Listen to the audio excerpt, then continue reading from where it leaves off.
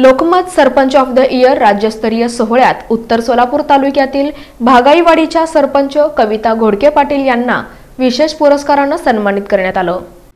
राज्यात प्रतिष्ठेचा मानल्या जाणाऱ्या दैनिक लोकमत सरपंच ऑफ इयर राज्यस्तरीय सन्मान सोहळ्यात भागाईवाडीच्या सरपंच कविता घोडके पाटील यांचा सर्व क्षेत्रात उल्लेखनीय काम केल्याबद्दल ग्रामविकास मंत्री हसन मुश्रीफ अल्पसंख्याक मंत्री नवाब मलिक यांच्या हस्ते विशेष पुरस्कार प्रदान करून सन्मान करण्यात आला. मुंबई येथील यशवंतराव चव्हाण सभागृहात झालेल्या दिमागदार सोहळ्याला महिला बालकल्याण मंत्री यशोमती ठाकूर कृषी सहकार राज्यमंत्री विश्वजित कदम विरोधी पक्षनेते देवेंद्र फडणवीस माजी अर्थमंत्री सुधीर मुनगंटीवार लोकमत मीडियाचे अध्यक्ष विजय दर्डा मराठी चित्रपट धुरळाचे कलाकार उपस्थित होते. लोकमत सरपंच ऑफ इयर या राज्यस्तरीय सन्मान सोहळ्यात महूत सांगोला मडेगाव बार्शी भागाईवाडी या गावातील सरपंचांना हा सन्मान मिळाला.